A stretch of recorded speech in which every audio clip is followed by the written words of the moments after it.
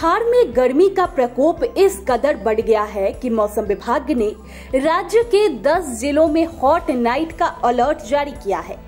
आपने अक्सर orange alert सुना होगा, रेड अलर्ट भी सुना होगा। लेकिन इस बार बिहार में गर्मी इस कदर बढ़ा है कि मौसम विभाग को हॉट नाइट का अलर्ट जारी करना पड़ा। पिछले एक पखवाड़े से सूबे में आसमान से मानो आग बरस रही है। हर दिन तापमान में क्रमिक बढ़ोतरी हो रही है। दिन में ही नहीं, बल्कि रात में भी लू जैसी स्थिति है। मौसम विभाग ने ताज़ा स्थिति को देखते हुए सूबे के 10 शहरों के लिए हॉट नाइट, यानी उष्ण रात्रि का येलो अलर्ट जारी किया है। मतलब रात में भी दोपहर जैसी गर्मी का एहसास होना।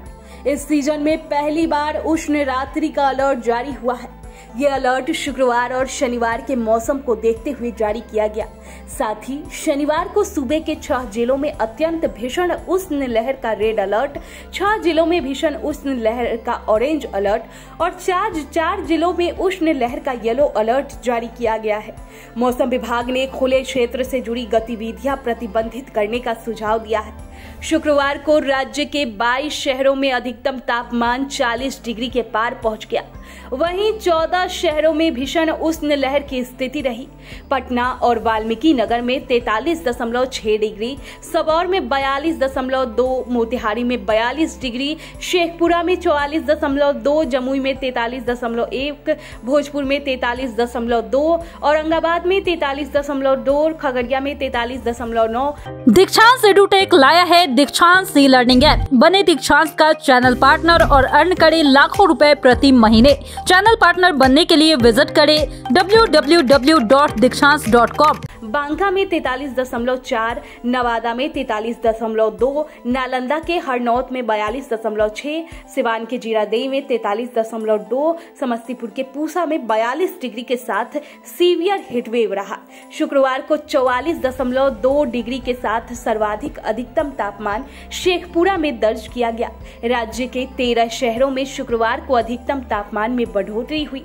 इनमें सबसे अधिक सबौर में 3.2 डिग्री की बढ़ोतरी दर्ज की गई, जबकि पटना सहित 16 शहरों में अधिकतम तापमान में कमी आई। पटना में अधिकतम तापमान में 0.2 डिग्री की कमी आई है। राज्य के नौ शहरों में शुक्रवार को उष्ण लहर के हालात रहे। इनमें भागलपुर में 41.7, मुजफ्फरपुर में 41 डिग्री दरभंगा में 42 डिग्री गया में 43.2 डिग्री पूर्णिया में 40.3, रोहतास के डेहरी में 43.2, वैशाली में 42.2, कटिहार में 40.1, छपरा में 41.8 डिग्री के साथ हीट वेव यानी उष्ण लहर के हालात रहे।